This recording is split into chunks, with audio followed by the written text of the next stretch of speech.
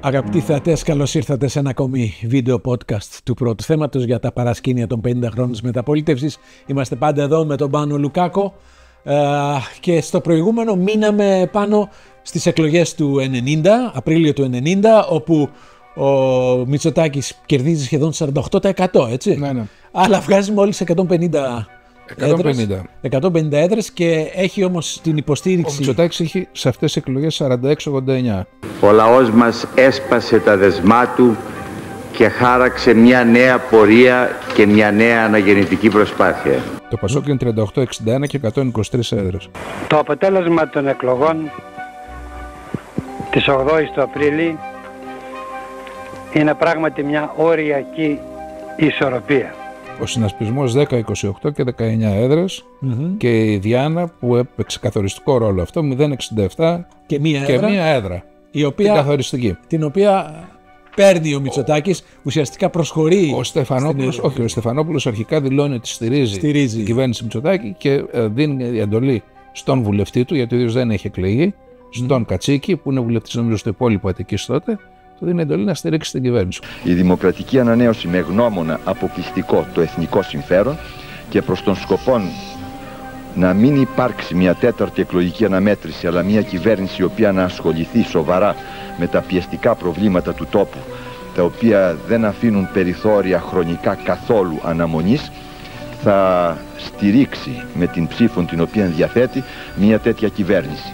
Ο Κατσίκη στηρίζει την κυβέρνηση και συνεχεία προσχωρεί. 151. Στο δρόμο κερδίζει η Νέα Δημοκρατία και από το εκλογοδικείο άλλη μία έδρα. Δεν θυμάμαι πού τώρα.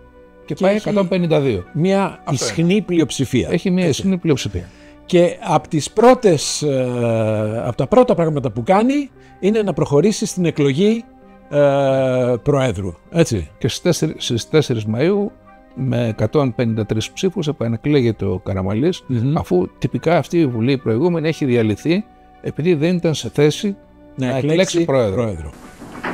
Παρακαλώ να διαβεβάσετε ως στρατηγική αντιπροσωπεία τις ειλικρινείς ευχαριστίες μου για την εκλογή μου. Άρα, στο δεύτερο πακέτο των ψηφοφοριών, ο, ο πρόεδρος εκλέγεται και με πλειοψηφία πάνω από 150. Και ο Καραμαλής εξελέγει με 153. Δεν ήταν καθόλου ευχαριστημένος ο ίδιος, Ο Καραμαλής. ο Καραμαλής, και για την κατάσταση που είχε δημιουργηθεί ε, και για το κλίμα που επικρατούσε την εποχή εκείνη και για αυτά που γινόντουσαν μέσα στην ε, Νέα Δημοκρατία. Ε, Εμένα μου είχε κάνει εντύπωση. δεν, ήταν, δεν ήταν ποτέ σε καλή σχέση με τον Μητσοτάκη. Ακριβώς. Ο Μητσοτάκης ε, ε, ε, μετά φυσικά από, το, από τότε αργότερα έχει πει ότι η επικεφαλής της εσωκομματικής αντιπολίτευσης στο, στη Νέα Δημοκρατία ήταν ο ίδιος ο Καραμαλής. Ο κύριος Καραμαλής με το μεγάλο κύρος που διαθέτει στο εσωτερικό και στο εξωτερικό θα βοηθήσει τη χώρα σε αυτή τη δύσκολη φάση που αντιμετωπίζει. Δηλαδή σε αυτόν απέδιδε την... ε, Στην πραγματικότητα, Αντιπολίτευση. Στην πραγματικότητα αυτός ο οποίος έγινε ο επικεφαλής της κομματικής αντιπολίτευσης ήταν ο Εύερτ. ο οποίος... Ε, Ο Μητσοτάκης έχοντας εντοπίσει ότι ο Εύερτ έχει αρχηγικές φιλοδοξίες και ότι μετά την ε, νίκη του στο Δήμο Ο, ο Εύερ τώρα μη γελιόμαστε ήταν άνθρωπος του Καραμαλή, έτσι. Δηλαδή Απολύτως. έπινε το νερό στο όνομά του. ο- του φίλ- δεν του φίλησε και το χέρι όταν ε, εξελέγει πρόεδρος. Και τον είδε και του φίλησε στο χέρι του Καραμαλή. Ε, δεν το σαφ- θυμόμουν. Βέβαια. Ήταν σαφώς άνθρωπος ε, του Καραμαλή ο Εύερτ. Δεν υπάρχει καμία αμφιβολία περί αυτού. Και ο Εύερτ ήταν αυτό που λέμε η λαϊκή δεξιά Ναι, ναι. και απ' την άλλη ήταν ο φιλελευθερισμός ε, του Μητσοτάκη. Ο οποίος Εύερ παρετήθηκε το 91. Δηλαδή... 91. Παραιτήθηκε- καν- Θα το πούμε, αυτό είναι μια ολόκληρη ιστορία. Παρατήθηκε πάνω στις υποκλοπές, αλλά στο αφήσουμε λίγο για μετά. Ε, αυτό που έχει εδώ σημασία να πούμε είναι ότι ο Καραμανλή δεν πολύ συμπαθούσε τον Μητσοτάκη πολιτικά. Ο Μητσοτάκης το ίδιο νομίζω. Ο Μητσοτάκης ήταν υποχρεωμένος να βγάλει Καραμαλή, διότι Δεν αποκλείεται η στεκόταν, κοινοβουλευτική ναι, ναι, ομάδα καλά, της ναι. Νέας Δημοκρατίας να δεχόταν οποιονδήποτε άλλον. Και έτσι ο Καραμαλή επανεκλεγεί και ήταν μια συμβίωση όχι πολύ ευχάριστη για τους δύο. Δηλαδή, ο Μητσοτάκης δεν μου είχε μιλήσει ποτέ όσες φορές το συναντούσα εναντίον του Καραμαλή. Ο Καραμαλή έκανε έναν πρόλογο όπως έκανε όταν ήθελε να πει κάτι. Έλεγε: Εγώ δεν μιλάω ποτέ εναντίον του Πρωθυπουργού, αλλά ρε παιδί μου. Ναι. Και εκεί έλεγε διάφορα. Ξέρω, εγώ, μια φορά μου είχε πει: Έρχεται εδώ και μου λέει ότι εγώ είμαι αισιόδοξος πρόεδρε, όλα θα πάνε καλά και η οικονομία και τα διεθνή, γιατί αυτά. Και Και έτσι ήμουν σε όλη μου την πολιτική σταδιοδρομία. Και τότε εγώ του είπα: Πρόσεχε από τις πολλές αισιοδοξίες, στο τέλος θα την πατήσεις. Μάλιστα. Του λέει κάτι τέτοια άλλη μια φορά, μου είχε πει ο Καραμαλής, ήρθε εδώ και του λέει: Τι κάνεις, πρόεδρε, μου λέει: Τρέχω. Του λέω: Πού τρέξε, λέει: Τρέχω παντού με όλα αυτά που γίνονται. Και τότε εγώ λέει: Του είπα: ε, επειδή οι δουλειές δεν γίνονται με τα πόδια και γίνονται με το μυαλό, καλύτερα να μην τρέχει και να κάτσεις να σκέφτεσαι. Σκέφτεσαι, μάλιστα. Του λέγε τέτοια. Ξεκινώντας πάντα Ναι. ότι Εγώ έχω εναντίον του. Εναντίον του Πρωθυπουργού δεν έχω κουβέντα.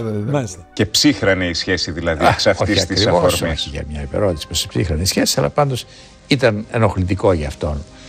Ε, Γνωριζόμαστε με τον Καραμαλή, του μιλούσα εγώ πάντοτε στον ελληνικό από εκείνη την εποχή και μέχρι τέλος δηλαδή και ακόμα και όταν ήμουν υπουργός στην κυβέρνησή του πάντοτε του μιλούσα στον ελληνικό αλλά τον έλεγα πρόεδρο πλέον. Πρέπει να πούμε ότι ήταν μια κυβέρνηση η οποία προσπάθησε να κάνει πάρα πολλά πράγματα. Έτσι. Ε, έκανε μερικά πολύ σημαντικά, ιδίως θα, θα, θα, θα τα πίστευα στο Στέφανο Μάνο προσωπικά. Δηλαδή, ξεκίνησε η ιστορία του μετρό, ξεκίνησε ε, το αεροδρόμιο και ξεκίνησαν και τα έργα της Αττικής Οδού, έτσι, τα οποία ολοκληρώθηκαν επί κυβερνήσεως Σιμίτη, αλλά πάντως εκεί μπήκανε ε, ουσιαστικά ε, οι βάσεις για τις μετέπειτα εξελίξεις. Έκανε πάρα πολλές ιδιωτικοποίησεις, ξεφορτώθηκε, το χρησιμοποιούμε αυτή την έκφραση, μια σειρά από προβληματικές επιχειρήσεις, έτσι.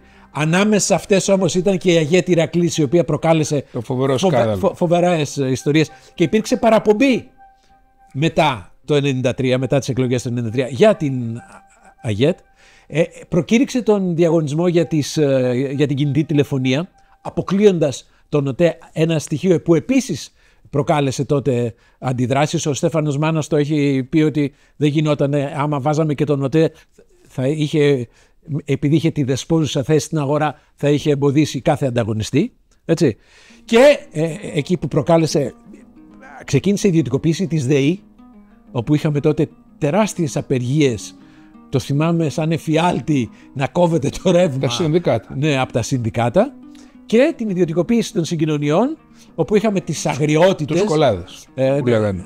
από τους, από τους συνδικαλιστές. Που δερνόντουσαν και ξεκινούνταν στους δρόμους και τρέχανε στην Ακαδημία. Που είχαμε αυτή τη φοβερή φωτογραφία ενός, ε, Ενός γυμνού που τρέχει. ενός γυμνού που τρέχει, απλώς είχε συμμετάσχει στον διαγωνισμό για την ιδιωτικοποίηση. Και γίνανε και κάποιες παρεμβάσεις και στο ασφαλιστικό και στην αγορά εργασίας και στο τραπεζικό σύστημα, οι οποίες επίσης προκάλεσαν πολύ έντονες αντιδράσεις από υπαλλήλους. Έχει πάρα πολύ ενδιαφέρον ότι ε, ο Μάνος διαπραγματεύτηκε με τον τότε πρόεδρο της ΓΕΣΕ, τον Κανελόπουλο, ο οποίος ήταν μια, έχει φύγει από τη ζωή πια, ήταν ένας πολύ μετριοπαθής και λογικός άνθρωπος και στα βασικά είχαν, είχαν συμφωνήσει. Και μάλιστα στο Πασόκ λέγανε, ζητούσαν κάποιοι να διαγραφεί ο Κανελόπουλος επειδή ακριβώς είχε δημιουργήσει ένα πλαίσιο συνένεση. Και αυτό έχει πάρα πολύ ενδιαφέρον που θα το βρούμε ε, Να σου πω κάτι. αργότερα. Ε, εγώ τότε κάνοντας ε, ε, ε, τη δουλειά μας τώρα, είχα βρει το εξής ότι υπήρχε μια αιστεία λογικής που ήταν ο Γεννηματάς, ο Λαλιώτης, ο Κανελόπουλος, ο Σιμίτης και υπήρχε μια Η αιστεία Βάσο. ακραίου παραλογισμού Μμμ, που ήταν ο Τσοχατζόπουλος, ο ίδιος ο Παπανδρέου, ο Ραφτόπουλος μμμ. επίσης συνδικαλιστής ε, νομίζω στους τραπεζοεπαλλήλους, ε, στην ΙΕΣΕ, δεν ξέρω πού. Αυτός ε, ήλεγε τα συνδικάτα πάντως. Και υπήρχαν μέσα στο ΠΑΣΟΚ αυτές οι δύο ομάδες, οι οποίες πάλευαν η μεν ε, πιο μετριοπαθείς, Κοίταξε, μην υπήρχε, τενάξουμε τον τόπο υπήρχε, υπήρχε, στον αέρα, οι δε άλλοι, όσο έχουν τον Παπανδρέου υπόδικο και είναι η δίκη, πρέπει να είμαστε στους δρόμους. Ε, έχει, έχει, είχε, ήταν ένα στοιχείο το οποίο βάραινε για πολλούς μες στο Πασόκ ότι είχε παραπεμφθεί ο Ανδρέας Παπανδρέου για δίκη. Θα πάμε και πρέπει να αργότερα είμαστε στη στους δρόμους. Ε, τότε είχε, είχε ένα άλλο γεγονός που είχε προκαλέσει πάρα πολύ ένταση. Ήταν ο- η δολοφονία του Τεμπονέρα. Έτσι.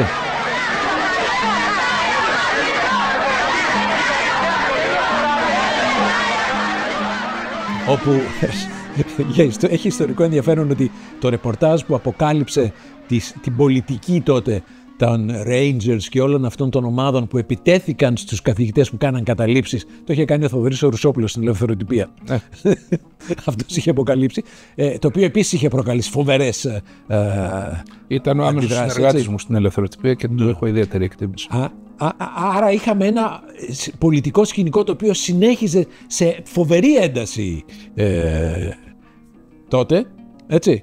Ε, και μέσα σε αυτό το κλίμα κάποια στιγμή το 92 ξεκινάει και η, και η δίκη του Ανδρέα Παπανδρέου στο ειδικό δικαστήριο. Εδώ πρέπει να σου πω το εξής. Ε, μου είχε πει ο Σιμίτης στο γραφείο του μια μέρα που ήμασταν ότι εμείς τους βγάζουμε έξω. Ναι. Αυτή η ομάδα, η άλλη, του Τσοχατζόπουλου, ας πούμε, το βαφτίσουμε έτσι. Εμείς τους βγάζουμε έξω και όταν προσπαθούμε μετά να τους πείσουμε ότι πρέπει να γυρίσουν πίσω, Δεν δεν γυρνάνε. ακούει κανείς. Ναι. Από εκεί και πέρα πλέον έχουν αυτονομηθεί και ο καθένας κάνει ό,τι θέλει. Και μαζί με τους αυριανιστές έχει γίνει ένα μπλοκ το οποίο μπορεί να είναι και φασιστοειδές ή να εξελιχθεί ε, φασιστοειδός. Έχει γίνει ένα μπλοκ το οποίο δεν ακούει κανέναν. Ούτε εμάς όταν τους λέμε φτάνει ως εδώ τώρα πάμε. Μα είναι προφανές ότι ε, είτε οι συνδικαλιστές της ΔΕΗ δεν κινιόντουσαν με πολιτική σκοπιμότητα τόσο όσο με, συ- με συντεχνιακή Υπήρχε, σκοπιμότητα. έτσι. υπήρχε και τέτοιο. Πάλι ο Σιμίτης μου είχε πει ότι γυρνώντας ανά την Ελλάδα, αλλά βλέποντας και όλους αυτούς, μου έλεγαν ε, τον Παπανδρέου κάντε τον λίγο πίσω, κάντε τον επίτιμο, είναι και τέτοια κατάσταση της υγείας του που δεν μπορεί να είναι και βγάλετε κάποιον να μπορέσουμε να προχωρήσουμε. Δεν πάει άλλο με τον Παπανδρέου. Με το που άρχισε η διαδικασία με τις δίκες και τις παρακολουθήσεις Τελείωσε. και όλα αυτά, οι ίδιοι άνθρωποι που μου λέγαν κάντε τον επίτιμο και βάλτε τον στην πίσω γραμμή, φωνάζαν και μου λέγανε κάτω τα χέρια από τον Παπανδρέου. Και εκεί ήταν το θηριώδες λάθος του Μητσοτάκη, ο οποίος αντί να κοιτάξει να συμμαζέψει, την κα- λέει ο Σιμίτης, να συμμαζέψει την κατάσταση να μπορέσει να κυβερνήσει, άνοιγε παντού μέτωπα. Μέτωπα με τους εργαζόμενους, μέτωπα με τους ε, επιχειρηματίες, μέτωπα με τον χώρο της ενημέρωσης. Θα πάμε και σε αυτά, Άνοιγε είναι πάρα πολλά. ναι. χιλιάδες μέτωπα, τα οποία μετά δεν μπορούσε να κλείσει. Ε, δίκη Ανδρέα Παπανδρέου, Κουτσόγιοργα, Τσοβόλα, Πέτσου. Ε, στη διάρκεια της δίκης έχουμε τε- τον θάνατο του Κουτσόγιοργα, ο οποίος παθαίνει εγκεφαλικό ε, Την ώρα που μιλάει. ε, επεισόδιο. Ε, Εκεί που λέει δεν δίναμε κύριε Πρόεδρε για να μιλήσω. και καταραίει. Παπ, Και πέφτει. και 30 το μεσημέρι καταραίει στο ειδικό δικαστήριο και ραυνοβολημένος από βαρύ εγκεφαλικό επεισόδιο.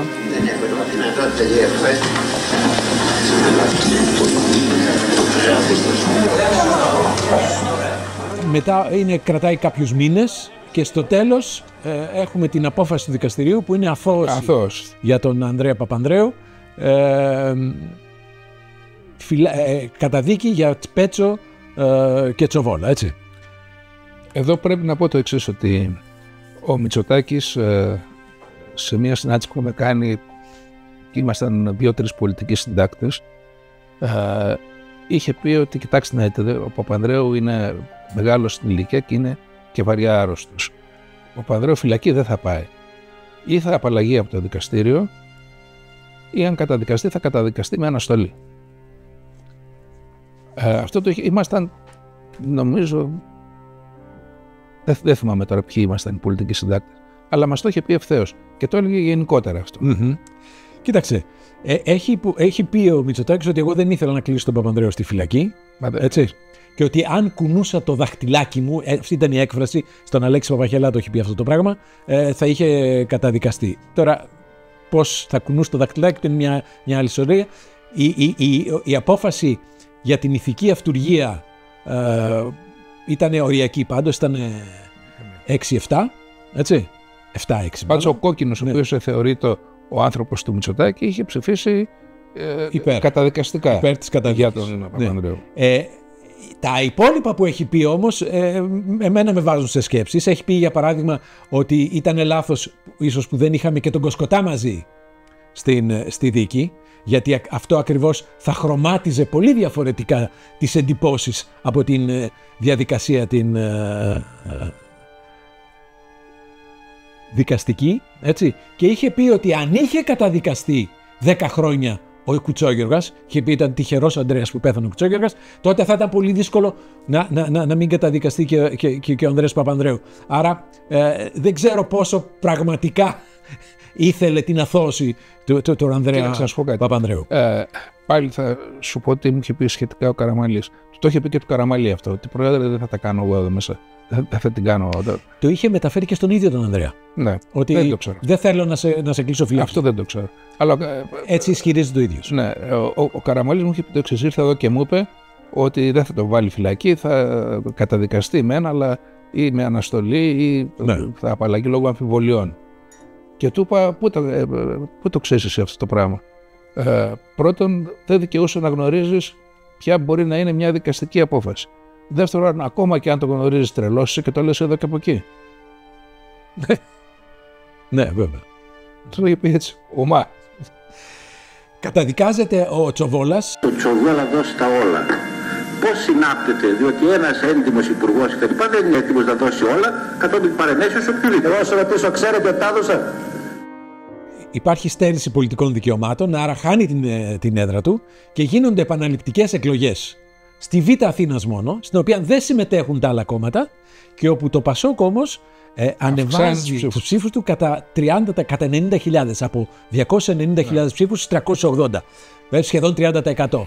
Το οποίο ε, εκεί πια συμ- φαίνεται ότι, ότι υπάρχει πλήρης ε, επαναφορά ε, του, του, του Πασόκ.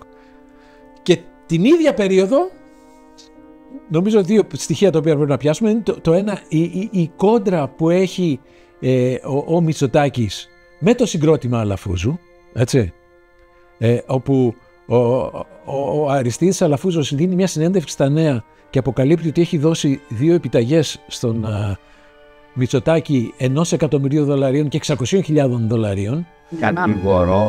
Κατηγορώ την οικογένεια Αλαφούζη ότι βρίσκεται πίσω από την συνωμοσία της ανατοπής της κυβέρνησης. και γίνεται μια έντονη, πολύ σκληρή αντιπαράθεση ε, με επίκεντρο τον Sky ε, όπου προσπαθούν να ρίξουν και τις κεραίες, πάνε τα μάτα πάνω και ε, ο, ο, ο, ο Αλαφούζος ο οποίος ε, θεωρείται ότι ήταν στο στρατόπεδο αν θέλεις της Νέας Δημοκρατίας ξαφνικά Και με την έγκριση του Μητσοτάκη είχε πάρει την καθημερινή. ναι. Και η Φάνη πάλι Πετραλιά έχει γράψει ένα βιβλίο και λέει ότι λίγο μετά την αγορά αυτή έγινε ένα, ε, μια, δεκ- ε, ένα γεύμα στο σπίτι της Ντόρας και του Παύλου Μπακογιάννη όπου ο Αριστίδης Αλαφούζος ε, έκανε μια πρόποση λέγοντας ε, «Πρόεδρε, εγώ πήρα την καθημερινή για να σε δω πρωθυπουργό». Ήταν τόσο, τόσο στενή η σχέση τους, έτσι. Εντάξει, ο, ο Αλαφούζος ήταν ένας, ε, ήταν εφοπλιστής και ήταν ένας επιχειρηματίας ο οποίος δεν είχε δουλειά στην Ελλάδα και δεν τον ενδιέφερε. Ε, έτσι έλεγε, έτσι έκανε, διότι έτσι πίστευε. Και τον ενδιέφερε να πάρει την καθημερινή. Μάλιστα, εμένα μια φορά μου είχε πει: Εγώ πήρα την καθημερινή, διότι μου αρέσει να ασχολούμαι κιόλα. Έχω τις άλλες μου τι δουλειέ που βγάζω λεφτά. Αυτό το έχει παραδεχθεί και ο Μητσοτάκης. Έχει πει ο μόνος που δεν μου ζητούσε ήταν λέει ο Αλαφούζος. Ναι, έχω δώσει πάρα πολλά λεφτά έως τώρα στον Μητσοτάκη για να υποστηρίξω και τους προεκλογικού του αγώνες και όλα αυτά. Δε- Δεν με ενδιαφέρει. Εγώ δεν θέλω τίποτε. Εγώ έχω μπει έτσι διότι μου αρέσει. Μμμ. Πώς να σου πω, μου είχε πει, άλλοι πηγαίνουν και κάθονται στο καφενείο. Εγώ προτιμώ το βράδυ να έρχομαι στην καθημερινή και να κάθομαι να μιλάω μαζί σας. Μμμ. Ήταν ένας άνθρωπος ο οποίος δεν είχε ε, επιδιώξεις, δεν γύρευε τίποτα από την κυβέρνηση. Συνήθως οι επιχειρηματίες γυρεύουν. Ναι. Αυτός δεν γύρευε και είχε δώσει. Ναι. Άρα η σύγκρουση αυτή Ο ίδιος ο άλλη Αλαφούζος μια, ήταν άλλη μια από τις κακοτεχνίες ναι. του Μητσοτάκη. Ο ίδιος Αλαφούζος έχει πει στη συνέντευξή του αυτή στα νέα ότι μου ζητούσε συνέχεια λεφτά. Και γι' αυτό Ε, ναι. ε, τσακωθήκαμε. Βέβαια, υπήρχε και υπόθεση ε, με το Ασπρονήσι και τη- που υπήρχε η κατηγορία ε, σε βάρος του Γιάννη Αλαφούζου για λαθρεμπόριο, το οποίο θεωρούσε η οικογένεια Αλαφούζου ότι ήταν Ότι βαλτό ήταν- από τον, ήταν από τον, βαλτό ακριβώς από τον Μητσοτάκη. έτσι. όταν ο Αλαφούζος και όλα είπε αυτά ότι- είχαν δημιουργήσει μια έκρηξη στις σχέσεις Όταν τους. ο Αλαφούζος είπε ότι εγώ δεν μπορώ να συνεχίσω να δίνω λεφτά, τότε βγήκε αυτή η ιστορία με το Ασπρονήσι. Εδώ ίσως ε, έχει νόημα να πούμε και κάτι άλλο. Αυτή η ιστορία συνδέεται και με τις κασέτες. Μμμ. Ε, ο Εύερτ παρετήθηκε πότε; Όταν του πήγαν ένα τσουβάλι σκουπιδιών, μια σακούλα σκουπιδιών γεμάτη κασέτες, Ναι. που ήταν οι παρακολουθήσεις του. Κύριε Εύερτ, μεταφέρατε το χειρότερο πεζοδρόμιο στο Κοινοβούλιο. Ντροπή σας. Αναλογιστείτε την ιστορία σας. Αναλογιστείτε τι λέτε και ξελέτε κάθε φορά για να δούμε πού ανήκει το πεζοδρόμιο κύριε Πρωθυπουργέ. Εγώ τον έβλεπα στο γραφείο του στο Υπουργείο Προεδρίας, ήταν τότε απέναντι από τον Εθνικό Κήπο. Και μία από τις φορές μου λέει: Έλα εδώ, λέει, και με πάει σε μία παρακάμαρα, ένα παραδωμάτιο μακριά από το Υπουργικό Γραφείο. Του λέω: Πού πάμε, ρε Μίλτο; Λέει: Κοίταξε να δεις, λέει, εμένα παρακολουθούν τα τηλέφωνα και παρακολουθούν και το χώρο. Ναι. Και άκου να δεις, μου λέει: Ήρθαν κάτι παιδιά δικά μου από τη Νέα Δημοκρατία και μου φέρανε τις κασέτες που με παρακολουθούν. Και τη λέω μέσα στο γραφείο και τη λέω στο τηλέφωνο. Και ήρθε, λέει, και ένας άλλος τύπος ονόματι Μαυρίκης. Ένας λέει: Αυτός είναι κοριός στον ΟΤΕ, κάνει αυτή τη δουλειά, κάνει τις παρακολουθήσεις. Μου φέρει και αυτός ένα τσουβάλι με κασέτες και ήθελε να μου τις πουλήσει. Ήτανε- με παρακολουθούν. Ναι. Και μου λέει, εγώ υπό αυτές τις συνθήκες θα παραιτηθώ και θα φύγω. Δηλαδή, ενώ ο Εύερτ είχε μεγάλες αντιρρήσεις με τον τρόπο που ασκούσε την, ε, και, ε, την πολιτική του ο Μητσοτάκης και μου- το, αυτόν τον οριμαγδό μέτρων που έπληταν κυρίως μεσαία στρώματα και χαμηλά στρώματα. Ε, εν τούτης έλεγε ότι είναι δύσκολο να παραιτηθώ έτσι στα καλά καθούμενα, και, αλλά και αν παραιτηθώ θα μείνω στη Νέα Δημοκρατία και βεβαίως δεν θα, δεν θα είμαι εγώ αυτός που θα ρίξω ρίξει την τον κυβέρνηση. Μητσοτάκη, ναι. Όταν πήγε, όταν του πήγαν τις σακούλες με τις κασέτες, ε, τότε πια είπε ότι αυτό είναι το τέλος, εγώ δεν κάθομαι άλλο. Είχαν, είχαν κυκλοφορήσει, θυμάμαι, να ακούμε ακόμη και τις ε, συζητήσεις με το χασάπι της γειτονιάς από το σπίτι του. Αυτές Ε, οι απίστευτη κασέτες ιστορία. κάποια στιγμή κατέληξαν στο Sky. Ναι. Σε δύο συναδέλφους, Ναι. Τον ε, Μακαρίτη, τον, τους Μακαρίτες και τον Κακαουνάκη και τον Τράγκα, οι οποίοι τα παίζανε συνέχεια. Ναι, ναι. Παίζανε συνέχεια αυτές τις ε, Ε, κασέτες. Ήταν το πρώτο πλήγμα στην κυβέρνηση Μητσοτάκη. Το δεύτερο πλήγμα ήταν με το Σταύρο το Δήμα, υπουργός και αυτός.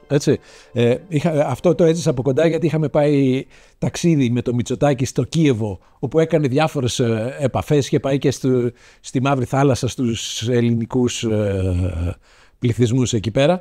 Και ήταν μαζί με τους ε, ε, επιχειρηματίες που συνόδευαν το Μητσοτάκη και ο Υπουργός Βιομηχανίας που ήταν ο Σταύρος ο Δήμας, ο, ο, ο οποίος ξαφνικά ε, έφυγε από την επίσημη αποστολή και ήρθε και, και κάθισε μαζί μας με τους δημοσιογράφους και αρχίσαμε να συνειδητοποιούμε ότι κάτι έχει συμβεί. Και η ιστορία που κυκλοφόρησε, αυτό που μάθαμε, εν πάση περιπτώσει, ήταν ότι ε, είχε μεταφέρει τα παράπονα των βιομηχάνων στην, ε, στη, στη- στην κυβέρνηση, είχε αντιδράσει η, η σύζυγος τότε του Πρωθυπουργού, η Μαρίκα Μητσοτάκη, κατά μία εκδοχή του είχε δώσει και ένα χαστούκι, έτσι, και, και ο Ήταν, ίδιος... ήταν εκρηκτικός τύπος, αλλά δεν νομίζω να έχει Ναι, πάει δεν- ως δε- δε- δε- δε- δεν το ξέρω. Πάντως ο ίδιος είχε προσβληθεί πάρα πολύ και παρετήθηκε και σηκώθηκε. Και έφυγε, παρετήθηκε ενώ ήταν στο, στο ταξίδι στο εξωτερικό. Πάντως, Ο Παντελή, ίδιος ο Μητσοτάκης πάλι έχει δηλώσει ότι θεωρούσε ότι όλη αυτή η εσωκομματική αντιπολίτευση, στο οποίο θα βάλουμε και το Θανάση τον Κανελόπουλο, έτσι, ναι, Κατεξοχήν. αρχηγό είχε τον Κωνσταντίνο Καραμαλή. Και το έχει πει ευθέως αυτό το πράγμα, αργότερα, έτσι. Ναι. Ε, Λέγοντας πάντως ότι δεν με ρίξαν αυτοί. Όταν φτάσουμε στην πτώση θα πούμε Ο ποιοι Καραμαλής θεωρούν- έλεγε ότι ε, αυτά με τους φιλελευθερισμούς είναι αηδίες. Διότι αν πλήξεις τα μεσαία και τα χαμηλά στρώματα, τι μένει, δεν μένει τίποτα και χάνεις εκλογές. Μμμ. Και ε, ε, ε, η Νέα Δημοκρατία είναι ένα κόμμα λαϊκό, ε, ε, ε, ευρύτερο και δεν έχει καμία θέση και καμία λογική ο νεοφιλελευθερισμός μέσα στην πολιτική της. Μάλιστα. Ήταν, ήταν μια κεντρική πια διαφωνία του Καραμαλή με το Μητσοτάκη και αυτή η κεντρική διαφωνία ε, ε, παίρναγε και στους ανθρώπους που ήταν οι πιο κοντινοί στον Καραμαλή μέσα στο κόμμα. Δηλαδή στους περισσότερους, γιατί τότε λαϊκή δεξιά ήταν η Νέα Δημοκρατία Ναι. και πήγε ευνηδίως ο Μητσοτάκης να την αλλάξει από κόμμα. Που ήταν και, και, και η εποχή, έτσι. Ήταν Ρίγκαν, Μπούς, Θάτσερ, ε, Έτσι. ο, ο, φι- ο νεοφιλελευθερισμός ήταν... ε, Ο Μητσοτάκης έκανε σωστές επιλογές και λάθος εκτέλεση. Δηλαδή, σωστά είχε επιλέξει ότι πρέπει να γίνουν κάποια πολύ σοβαρά πράγματα στην οικονομία, ότι δεν πάει άλλο έτσι, ότι οδηγούμαστε σε κατάρρευση. Αλλά ο τρόπος που εκτέλεσε την πολύ σωστή του σκέψη οδήγησε όχι μόνο στην πτώση του, οδήγησε στο να γίνει της τρελής σε όλη τη χώρα. Μάλιστα. Και πιο παλιά, και πιο παλιά εάν πάμε, ορθώς είχε διαγνώσει το 67 ότι αυτή η κατάσταση θα οδηγούσε σε δικτατορία. Αλλά ενώ είχε σωσ- ήταν σωστός ο πυρήνας της σκέψης, η εκτέλεση, δηλαδή η αποστασία, ήταν λάθος. Yeah, βέβαια. Και το ίδιο, το ίδιο γινόταν και τώρα. Δηλαδή έκανε σωστές εκτιμήσεις και λάθος εκτέλεση. Να πάμε λίγο στο διεθνές περιβάλλον. Έτσι ήταν Ναι. μια περίοδος όπου ε, γινόντουσαν κοσμογονικές αλλαγές ε, στον περίγυρό μας και στην, στον πλανήτη μας. Ε, κορυφαία η πτώση το 89 του υπαρκτού σοσιαλισμού έτσι, ε, και η διάλυση της ε, Σοβιετικής Ιουγκοσλαβίας. Ένωσης. Της Σοβιετικής Και με- Ένωσης πρώτα. Ναι. Έτσι. Διάλυση Ο πόλεμος στον Ιουγκοσλαβίας. κόλπο Έτσι, ναι. όπου αυτό ε, άλλαξε τις προτεραιότητες και των Αμερικανών και το βάρος ε, και της Ελλάδας με τη Σούδα και όλα αυτά και αυτό που μας αφορούσε άμεσα η διάλυση στη Ιουγκοσλαβία και ο πόλεμος ο εμφύλιος που ξέσπασε στη Ιουγκοσλαβία όπου ένα μέρος αυτής, μια συνέπεια αυτής της διάλυσης ήταν και η ανεξαρτητοποίηση της ε, Δημοκρατίας της Μακεδονίας. της Μακεδονίας. Έτσι, η οποία αμέσως ε, προκάλεσε αντιδράσεις στην Ελλάδα. Ε, το κράτος αυτό όταν ήταν με- στο πλαίσιο ενταγμένο στο πλαίσιο της Ιουγκοσλαβίας χωρίς καμία ελληνική διαμαρτυρία ονομαζόταν Δημοκρατία, Δημοκρατία της, της Μακε- Μακεδονίας. της Μακεδονίας. Όταν αναξαρτοποιήθηκε τότε με τον κύριο Γκλιγκόροφ ε, σε- ε, επεδίωξε να συνεχίσει με το ίδιο όνομα. Εκεί ξεκίνησε ένας άλλος εδώ ότι η Μακεδονία μία είναι ελληνική κτλ. κτλ. Κατά τη γνώμη μου είναι μια προσωπική άποψη, μπορεί να είναι λάθος, αλλά όλος αυτός ο άλλος ήταν λάθος. Είναι μια χώρα με 1.600.000 κατοίκους νομίζω, από τους οποίους η μισή είναι Αλβανοί, η άλλη μισή είναι Βούλγαροι, Βουλγαρογενείς ή Σλαβογενείς, ε, άλλοι λένε ότι είναι Μακεδόνες. Είναι μια χώρα μικρή, δεν έχει στρατό, δεν έχει αεροπορία, δεν έχει ναυτικό. Δεν ήταν σε καμία περίπτωση απειλή για την Ελλάδα. Και στην αρχή η, η, η, Μακ- η αντιπροσωπεία της Πουγουδουμού, πώς τη λέγαμε Ναι, λίγο αργότερα, είπε ότι εμείς δεν, δεν θεωρούμε ότι καταγόμαστε από τον Μέγα Αλέξανδρο. Ναι, ναι, ναι. Έτσι. Ε, και η συζήτηση ήταν για το κατά πόσον το σύνταγμά τους υποκρύπτει αλυτρωτικές ε, ελπίδες, προσδοκίες στον, ε, Δηλαδή, με, με σε κατάλληλη, βάρος της Ελλάδος. με κατάλληλη πολιτική θα μπορούσε να έχει γίνει ένα προτεκτοράτο της Ελλάδας στα βόρεια σύνορα. Ο κύριος Αυτό Παπανδρέου σημαίνει. την Τώρα, περασμένη Ο κύριος εβδομάδα Παπανδρέου. είπε εγώ όνομα Μακεδονία Μάλιστα. ή παράγωγο Λοιπόν, ο κύριος δεν Παπανδρέου. δέχομαι. Την κάνετε εσείς αυτή τη δήλωση; Όχι, δεν την κάνω. Δεν την κάνω αυτή την δήλωση. Έφυγα από αυτήν την δήλωση. Είπα ότι μένω ακλόνητος στην βάση ότι αυτό ζητώ τώρα. Αυτή είναι η θέση. Η Ελλάδα δεν έχει μετακινηθεί από τη θέση αυτή. Πλην όμως θα συνεκτιμήσω στην κατάλληλη ώρα το σύνολο των δεδομένων, την γενική κατάσταση στον κόσμο και θα αποφασίσω. Διότι αυτοί πιο πολύ φοβόντουσαν τους Βούλγαρους, όχι εμάς. Και εξακολουθούν μεταξύ ναι, τους. οι Βούλγαροι είναι αυτοί οι οποίοι τους κάνουν το μεγάλο πόλεμο. Που θεωρούν ότι δεν και υπάρχουν, που θεωρούν ότι δεν δεν υπάρχουν υπάρχει- Μακεδόνες είναι Βούλγαροι. Είναι Βούλγαροι όλοι Οι Αλβανοί αυτοί. δηλαδή θεωρούν ότι είναι α, η μισή Αλβανοί, οι Βούλγαροι ότι η άλλη μισή είναι Βούλγαροι. Για μας το πιο επικίνδυνο θα ήταν τι; Ακριβώς εκεί που καλύπτει αυτή την γεωγραφική έκταση να γίνει ένα κομμάτι μεγάλη Αλβανία και ένα κομμάτι μεγάλη Βουλγαρία. ήταν το τελευταίο που θα μας συνέφερε. Ναι. Και όμως εκεί απάνω δόθηκε μια Μάλιστα. μάχη η οποία οδήγησε και στην ανατροπή της κυβέρνησης Μητσοτάκη προσχηματικά βέβαια. Θα πάμε σε αυτό ε, και προκάλεσε έναν έντονο εθνικισμό και στην ε, Στην Βόρεια ε, Μακεδονία ακριβώς. τώρα. Έτσι. Ε, εκεί είχε γίνει, είχε, είχαν γίνει ε, συνεχείς διαπραγματεύσεις, είχε έρθει το πακέτο Πινέιρο, αν το θυμάσαι, Ναι, ναι. με Νέα Μακεδονία το όνομα κτλ. Και φτάσαμε κάποια στιγμή σε ένα συμβούλιο των πολιτικών αρχηγών για το τι στάση πρέπει να κρατήσουμε ε, απέναντι στο, Ναι, ναι. στην σημερινή Βόρεια ε, Μακεδονία. Εκεί λοιπόν είχαν καταλήξει ότι δεν θα δεχθούμε καμία ονομασία ε, με το όνομα Μακεδονία ή παράγωγά του, το οποίο ήταν μια, αν θέλεις, μαξιμαλιστική ε, θέση. σχετικά με το θέμα των Σκοπίων. Η πολιτική ηγεσία της χώρας, με εξαίρεση το ΚΚΕ, συμφώνησε ότι η Ελλάδα θα αναγνωρίσει ανεξάρτητο κράτος των Σκοπίων μόνον εάν τηρηθούν και οι τρεις όροι που έθεσε η ΕΟΚ στις 16 Δεκεμβρίου 1991 με την αυτονόητη διευκρίνηση ότι στο όνομα του κράτους αυτού δεν θα υπάρχει η λέξη Μακεδονία. πάνω στην οποία είχε διαφωνήσει ο Υπουργός Εξωτερικών τότε της χώρας, που ήταν ο Αντώνης Σαμαράς, ο οποίος πίστευε ότι έπρεπε τότε να κλείσουμε τα σύνορα ε, και να πάμε σε πολύ πιο επιθετική πολιτική σε σχέση με τα, με την, ε, με τα Σκόπια.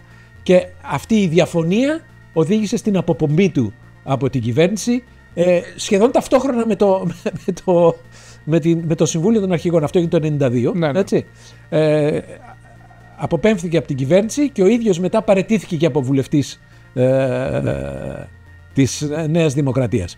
Και η σύγκρουση με το Σαμαρά ήταν αυτή η οποία τελικά οδήγησε και στην πτώση του Μητσοτάκη. Έτσι. Ο Σαμαράς ε, ή- τον ε, Σεπτέμβριο νομίζω ε, ιδρύει την πολιτική άνοιξη. Λέει ότι οι φίλοι μου, οι βουλευτές που είναι μέσα στη Νέα Δημοκρατία θα εξακολουθήσουν να μένουν στην κυβέρνηση και να την στηρίζουν. Και έτσι γίνεται στην αρχή και ξαφνικά κάποια στιγμή ε, ήταν νομίζω Σεπτέμβριο του 1993 πάλι λέει διακόπτεται η, η παροχή ανοχής στην κυβέρνηση λόγω της μεγάλης ήττας ε, στα εθνικά θέματα και λόγω της ε, ε, πώλησης, της εξευτελιστικής πώλησης του ΟΤΕ. Ναι. Κατά συνέπεια διακόπτεται η, η, η ανοχή μου προς αυτή την κυβέρνηση.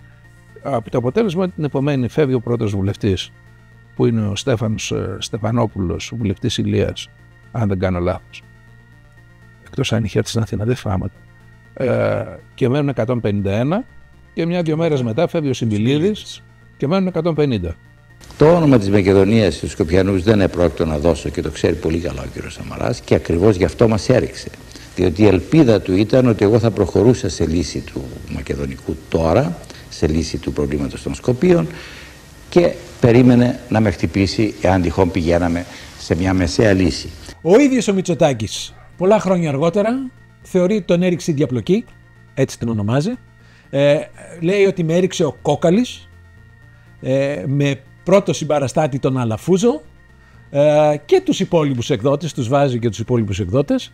Ε, δεν με έριξε ο Καραμαλής, δεν καταλογίζει ευθύνη στον Καραμαλή, παρότι έχει, είναι αστεία η, η διατύπωση του, γι' αυτό τη λέω, ότι δεν είμαι βέβαιος ότι στεναχωρέθηκε από την πτώση της κυβέρνησης. Έτσι. Υπάρχει ένα ζήτημα των σχέσεων Μητσοτάκη και με τον Κόκαλη και με τους ε, Ο Μητσοτάκης κα, κατάφερε δύο πράγματα. Το ένα είναι κατάφερε να στρέψει όλο τον κόσμο εναντίον του και να τους βγάλει στους δρόμους με τον βίαιο τρόπο που επιχειρήθηκαν οι παρεμβάσεις ε, στην οικονομία και κυρίως αυτές που αφορούσαν εργαζόμενους είτε στο δημόσιο είτε στον ιδιωτικό τομέα.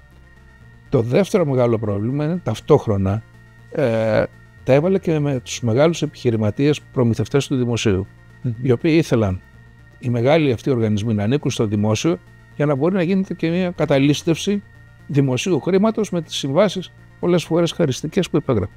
Από την ώρα που θα μπαίνουν ιδιώτες, αυτά θα τα τελείωναν, διότι ο ιδιώτης θα διαπραγματευόταν σκληρά. Δεν θα έδινε με πολιτικά κριτήρια δουλειές σε αυτούς που τους έπαιρναν, δηλαδή τους μεγάλους προμηθευτές του δημοσίου. Οπότε είναι πάρα πολύ πιθανόν πολλοί από, αυτοί, από αυτούς για να μην χάσουν αυτά τα οποία είχαν, είναι πάρα πολύ πιθανόν να βοήθησαν στην ανατροπή της κυβέρνησης Μητσοτάκη. Ναι. Δεν έχει αποδειχθεί κάτι. Δεν έχουμε αλλά αυτό το, οποίο, αυτό το οποίο λέγεται. Έχει, έχει ενδιαφέρον ότι πάντως πολλοί, ότι, πολλοί από αυτούς ήταν στο παιχνίδι. ότι αυτός ο οποίος έδωσε στην πραγματικότητα, για παράδειγμα, την ιδιωτική τηλεόραση στους εκδότες ήταν ο ίδιος ο Μητσοτάκης. Έτσι. Ναι. Επί, επί κυβερνήσεως Τζανί Τζανετάκη έγινε αυτό το πράγμα που δημιουργήθηκε και το, και το Μέγκα τότε. Όλοι αυτό που λέμε. Σωστές εκτιμήσεις, λάθος εφαρμογή Ναι. του Μητσοτάκη. Ε, Λάθος και, τέλος. και, και, και αν θέλεις, έχει, έχει, έχει ενδιαφέρον ότι ε, με τη συμφωνία των τριών αρχηγών υπογράφηκε η πρώτη σύμβαση, η επέκταση μιας σύμβασης κόκαλη Siemens και μία μέρα πρωτού πέσει η κυβέρνηση υπογράφηκε η σύμβαση για το ξυστό στην Intralot.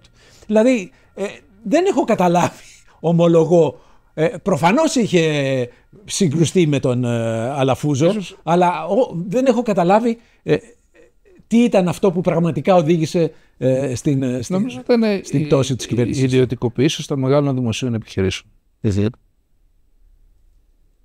Αυτό δεν ξέρω αν θα το μάθουμε ποτέ με, παρα- με στοιχεία, αν θα αποδειχθεί ποτέ ή όχι. δεν θα όμως ένα αποδειχθεί από τα ποτέ. μεγα- Ναι.